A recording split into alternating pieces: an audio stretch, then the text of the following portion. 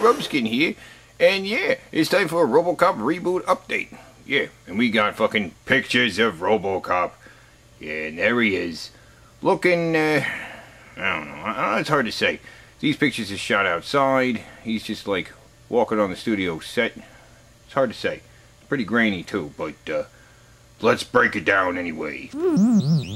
Yeah, in Teddy Vision. Whatever that means.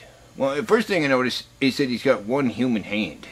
Yeah, like they they rebuilt him, but they left his hand there, you know, so so he could pick his nose or jerk off. I mean, if, if he still got a dick, you know. But whatever. Yeah, his helmet also looks kind of funky, you know, like it's glass. He has a glass fucking head. That can't be fucking good. His whole suit though looks kind of gray. Looks kind of plastic, you know. Kind of looks like the fucking Batman armor, you know, the Dark Knight's wearing, you know. Kind of looks like that, but, uh, I don't know. Doesn't look very, like, mechanical. Should be like shiny metal or something, don't you think? Don't you think? But, but, but like I say, it's hard to say. It's a grainy picture. It, it, it's not, like, optimally lighted or digitally enhanced or whatever the fuck I'm gonna do to it. It, whatever.